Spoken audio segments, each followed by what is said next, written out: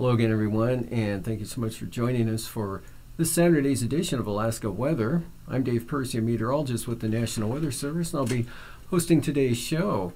First graphic up again is the uh, breakup map for the 22nd of May.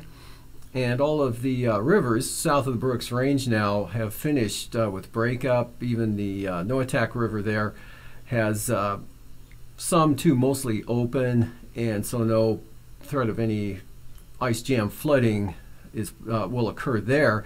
And the North Slope rivers, uh, Colville still quite a stretch of unknown with uh, some open there around Umiat Airfield or the Umiat observing site. And then on down from there, it is mostly ice right on out to the Arctic coast. Kuparuk, still mostly ice the entire stretch. And the uh, Sagwan River showing mostly open the upper stretches, some open a little farther down, and solid ice on out to the, or mostly ice on out to the Arctic coast there. There's a chance uh, there could be some ice jams that may form there here before breakup finishes up there. But nothing in the forecast, and we'll see for the uh, hazardous weather graphics. There are no watches, warnings, or advisories anywhere around the state for either fire, floods, or any type of uh, weather conditions for the next, uh, well, for tonight and through tomorrow, the way it looks at this point in time. Fire danger, still showing uh, extreme fire danger over the upper Yukon Valley and the flats there, extending down toward Eagle, and uh, an area of high fire danger, really uh, west and north of the Alaska Range, pushing up to the eastern Brooks Range and into the eastern Kuskokwim Valley kind of a uh, spot there on the west side, or over toward the uh, western slopes of the western Brooks Range there in the Kuskokwim Valley. Otherwise, that is really cut off from the clouds and moisture to the west. Low fire dangers there. And then southwest of Fairbanks, another extreme high fire danger area. Temperatures in the uh, around 70 at mid-afternoon up in the Tanana Valley around Fairbanks, but winds were gusting up to about 25 miles an hour out of the south-southeast. And with humidities down around 20%, that uh, makes for extreme fire conditions. Moving on to satellite imagery. And see uh, low pressure backing westward now after uh, tracking eastward along the Aleutians, pulled north late yesterday and overnight, now pulling back to the west. Uh, across the Pribilof today, and that front uh, strung out across southern Alaska, down off the southeast coast, uh, a little more potent down uh, coming into the uh, southern panhandle there, kind of a wave off to the southwest, bringing uh, moderate to heavy rain to the southern panhandle with a little bit of an increase in the winds there, 20 gusts, maybe 35 miles an hour, and uh, just under gale force uh, along the coast, and also some uh, pretty good rainfall pushing up into Prince William Sound, where Portage Valley, the observing site there, reported one and two thirds inches in the last 12 hours actually uh, less than less time than that, with winds kicked up to 60 miles an hour out of the east uh, at about 11 a.m. and winds gusting 35 miles an hour Turnagain Arm today. Palmer seeing gusts 25 or no 30 miles an hour there out of the northeast at times. And uh, as I mentioned, areas over the interior seeing winds in the 20 25 mile an hour range. Otherwise, lots of clouds, and uh, areas of light rain, fog, and drizzle there over the Bering Sea and Aleutians due to that low near the uh, Pribilof Islands. And uh, clouds along the Arctic coast, lower conditions in the west. It was uh, mostly clear on the eastern Arctic coast again today, like yesterday. And then we had some lower clouds and mixed precipitation, although it was light for the western Arctic coast and light showers extended into the northwest interior along that trough and into the Yukon Delta, but amounts are generally less than a tenth of an inch and, uh, during the day today. And some showers over the uh, western Cook Inlet area, and then the area of rain from Turnagain Arm and Prince William Sound eastward along the North Gulf Coast. Uh, not quite getting into Yakutat yet, but something should here shortly. And then the heaviest rain occurring over the southern Panhandle or Ketchikan picked up half an inch in three hours this afternoon. Otherwise, uh, some light rain over Kodiak and showers through the Alaska Peninsula, and that low uh, back pulling back to the west there near the Pribilof will actually drift a little back to the east tonight by late tonight, and several troughs rotating around the southern quadrant of that will keep the Aleutians showery and cloudy IFR expected across all the Bering Sea and Aleutians through the Strait. Could be some flurries, fog along the uh, central western Arctic coast, maybe an increase in the fog on the east side, of that's been having trouble forming. Fair over the interior, and a good shot of rain with that front for the southeast coast. Maybe some locally gusty winds, but nothing too serious, and stays wet along the uh, Prince William Sound area into the Kenai Peninsula, Cook Inlet. Dry over the interior. Outlook for tomorrow.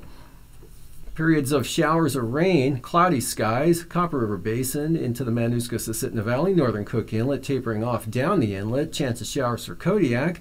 Periods light rain, fog, and drizzle along the entire North Gulf Coast, and lingering rain over the northern panhandle, but showers tapering off, possibly ending over Prince of Wales Island, maybe Ketchikan Net.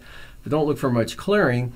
Low pressure still meandering around out over the eastern Bering Sea near the Pribilof Islands, and that keeps it, uh, again, cloudy, damp, drizzle, fog, light rain, or one of the three, with uh, near IFR conditions across, uh, well, from the Bering Strait to St. Lawrence Island, all the way down along the Aleutians, Alaska Peninsula area.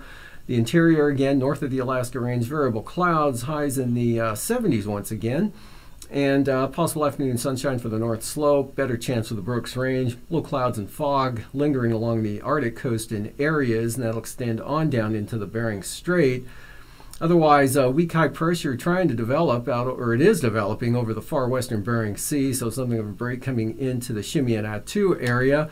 And we'll see that warm front that I had on there just sort of washes out completely It doesn't amount to much, and we have a weak area high pressure, really more of an area uh, lack of storminess than a really a presence of high pressure out there. But that'll make for light winds and generally cloudy skies. And that persistent low holds near the Pribilofs for continued uh, low clouds, fog, light rain, drizzle, showers over the central eastern Aleutians. Another trough swings into the southwest coast, Bristol Bay area, bringing a chance of showers from Kodiak Island up across the Yukon Kuskokwim Delta. Look for shower chances of uh, the Kuskokwim Valley to the western Alaska Range. Periods of rain, Copper River Basin, showers into the uh, upper Tanana Valley 40 mile country areas with uh, showers for the North Gulf Coast and cloudy wet conditions for Memorial Day in store for the southeast coast and kind of a mixed weather situation over the interior with some sun and showers scattered around and then low clouds and fog again along the Arctic coast.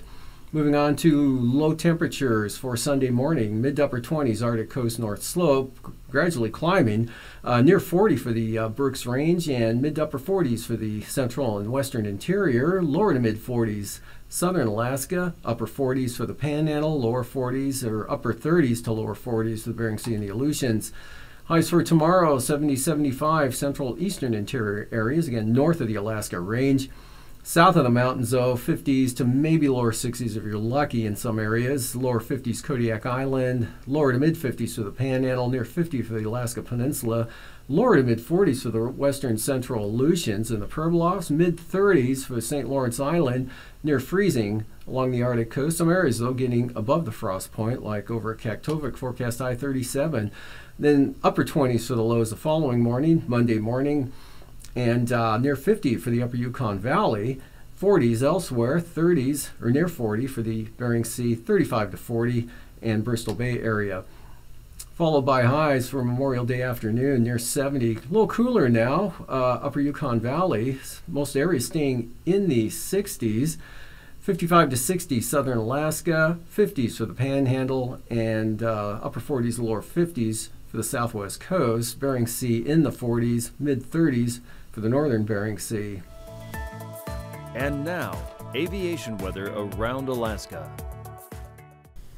Sunday morning's flying weather graphics showing a lot of IFR, North Slope, Arctic Coast, right through the Bering Strait, Northern Seward Peninsula as well, and then across St. Lawrence Island. All of the Bering Sea and Aleutians have a pretty good chance of uh, seeing some IFR. Next ends into Kuskokwim Bay, Cape Newenham, across the southern Kuskokwim Valley, expands over southern Cook Inlet, uh, pushing up toward Kenai, most of the Kenai Peninsula and Prince William Sound, Copper River Basin, right up to the Alaska Range, north of the mountains there, VFR, Southern Brooks Range, Yukon River, right on down to the deltas, marginal VFR for the Panhandle. And then for Sunday afternoon, the IFR in the southern southeast coast becomes marginal in the afternoon, and that's uh, pretty much the case for the entire southeast coast, inside waters and all. IFR North Gulf Coast, Prince William Sound, kind of a swath of marginal VFR now. Cook Inlet, Matanuska, Susitna Valley, Copper River Basin, northwest across uh, Denali Park to the uh, Hills there to around Kotzebue, VFR to the north and northeast of that area, and also to the southeast. And then no change for the Bering Sea, Aleutians, North Slope, Arctic Coast, all IFR. That continues through Monday. IFR holds and is pretty widespread again for the Arctic Coast North Slope through the Bering Strait all the Bering Sea, all the Aleutians, most of the Alaska Peninsula, southwest Kodiak Island, IFR, IFR extending up into uh, southern Kenai Peninsula, Resurrection Bay, Prince William Sound, across the Talkeetnas to the central Alaska Range, and marginal for the Panhandle. Afternoon, not too bad, western and central interior areas, VFR, but uh, northern Koyukuk, Kobuk Valleys, Noatak Valley, marginal VFR becomes IFR in the North Slope and Arctic Coast. Looks like some IFR now for the uh, uh, 40 mile country, Upper Tanana Valley, uh, well south of Eagle, though, more likely around uh, Nabesna, Tok, Northway. Otherwise, uh, marginal VFR for the Copper River Basin, VFR Northern Cook Inlet, marginal along the coast, VFR now for the Panhandle, the interior, no change out west. And Anaktuvuk, marginal VFR at times tomorrow, especially in the morning hours. Same forecast for Atigun and for Lake Clark and Merrill, marginal VFR. Rainy looks marginal, as does windy, especially southern entrance. And for Isabel, marginal VFR at times. And Mentasta, mostly VFR throughout the day Sunday, while Tahneta, pretty good chance at some point in the day tomorrow will be uh, VFR flying. And for Portage, really no change. IFR, uh, better conditions, maybe marginal on the western entrance. And for Chilkoot and White, marginal VFR.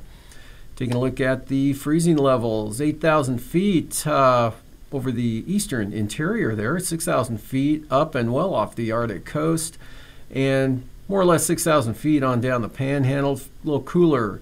Kenai Peninsula to Kodiak Island, 4,000 feet, and then chillier yet, 2,000 feet for the Alaska Peninsula, southern Bering Sea, and the Aleutians. Taking a look at the icing with the uh, moisture stacking up along the North Gulf Coast there in that southeasterly flow.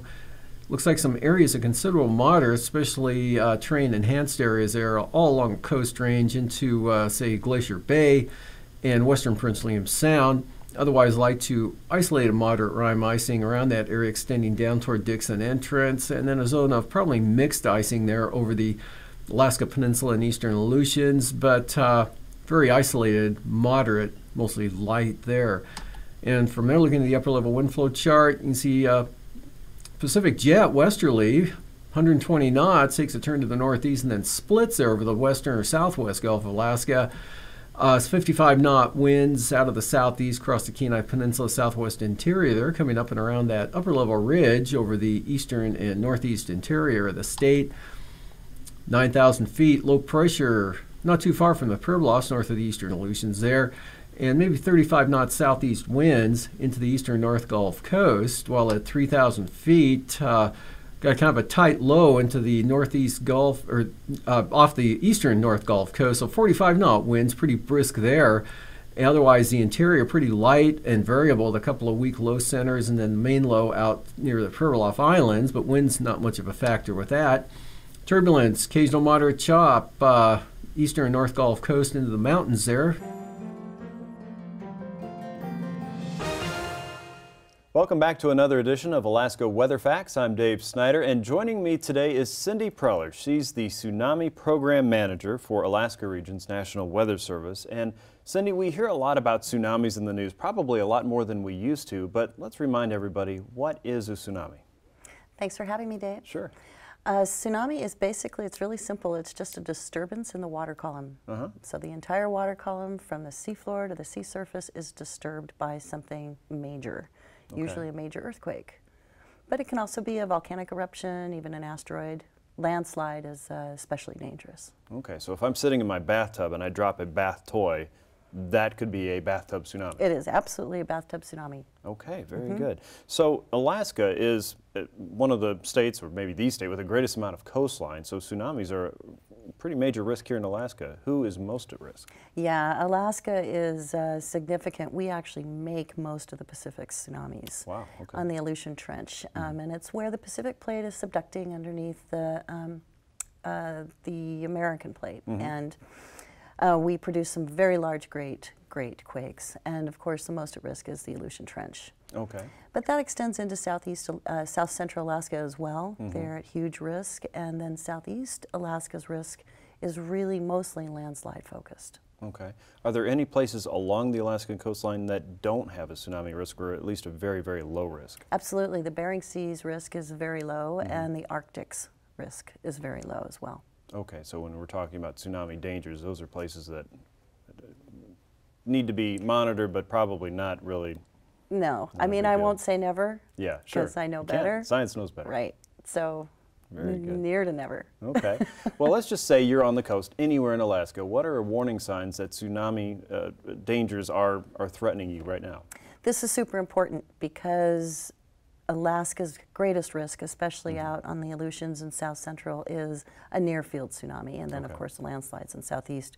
It's even more intense because we So can't. shorter warning time. sh- no warning time. Okay. The earthquake is the warning. Okay. And that is the most important thing for anybody to, to remember. The water can arrive in less than two minutes. Two minutes. Wow. Yeah, at the National Tsunami Warning Center in Palmer, Mm-hmm.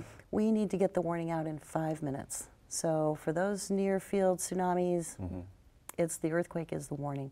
So. Okay. if you feel shaking, Okay. and of course the first thing you do is drop, cover, and hold, Right. and you need to start counting Okay. slowly to 20. The right way. Mm-hmm. How do you do that? Oh, I, I teach kids to do it with their favorite things. So Okay. one chocolate, two chocolate, three chocolate, but you can good. count anything you like. Okay. And if you're thinking of something happy, that helps. Okay. Especially helps kids, but it'll help your So you psyche. don't speed up because you're getting stressed out. I see. Right, right. It actually lowers your heart rate. Interesting. You know, so if you think of something you love and um, and practice that. So you're in an earthquake, you're under Mm-hmm. the table, you're next to the ocean, Okay. right? Right. This is this is important if you're next to the ocean. Okay. If you're not next to the ocean, don't worry about it. Just stay in place under cover. And you're talking about a mile, a quarter mile. How, what's what's close?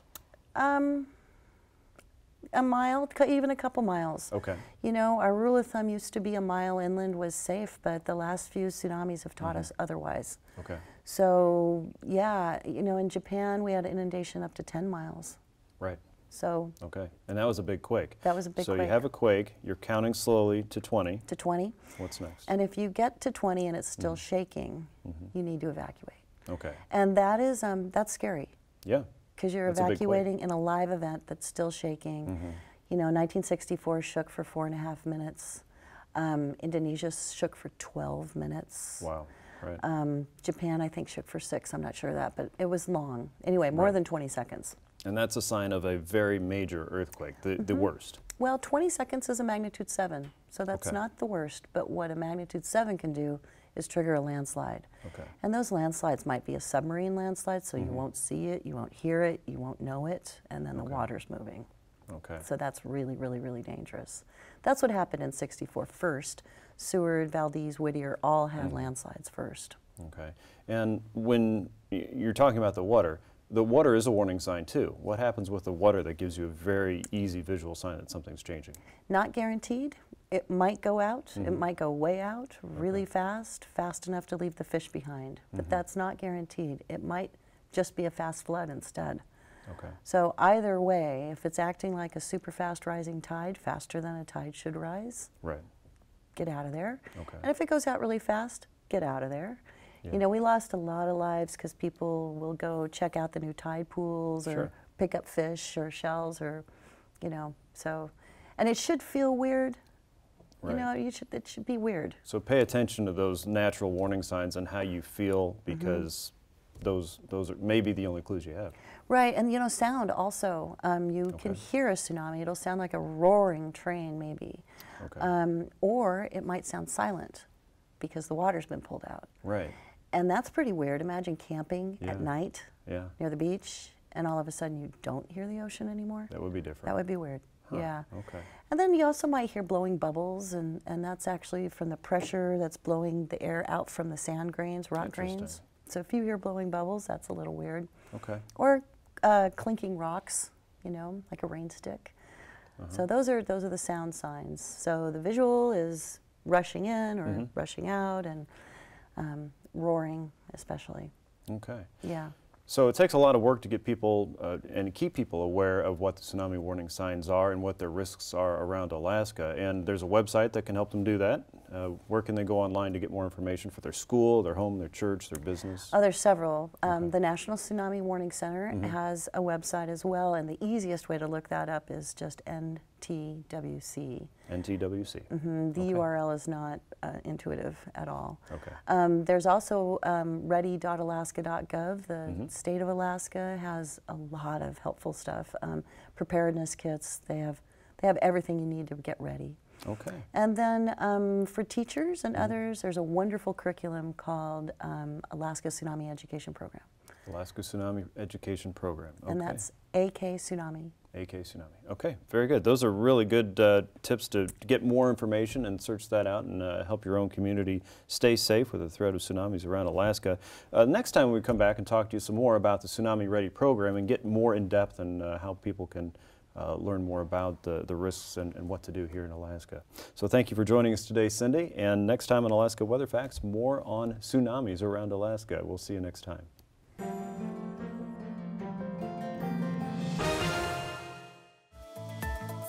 And now, marine weather around Alaska.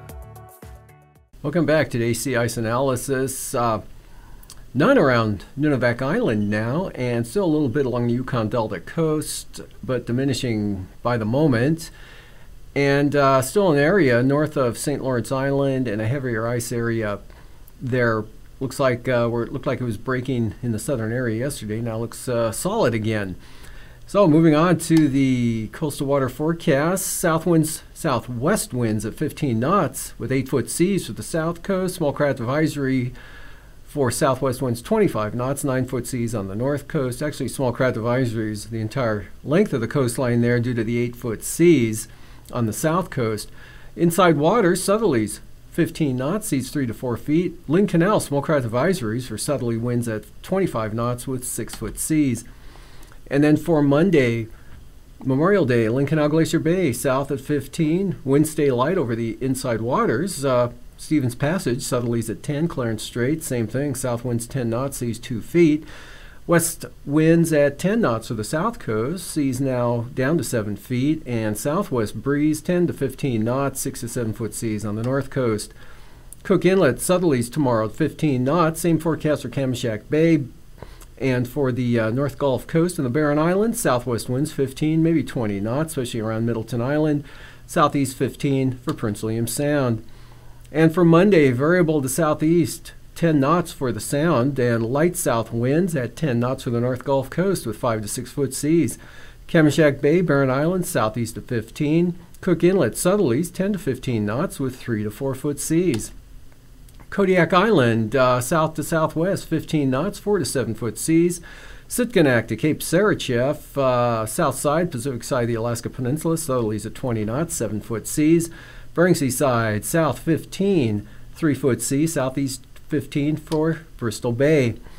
And for the uh, southern side of the uh, Alaska Peninsula, south winds at 20 knots, topside south 20, seas 5 feet and southeast 15 for Bristol Bay, south to southeast 15 knot winds for Kodiak Island, Shelikof Strait.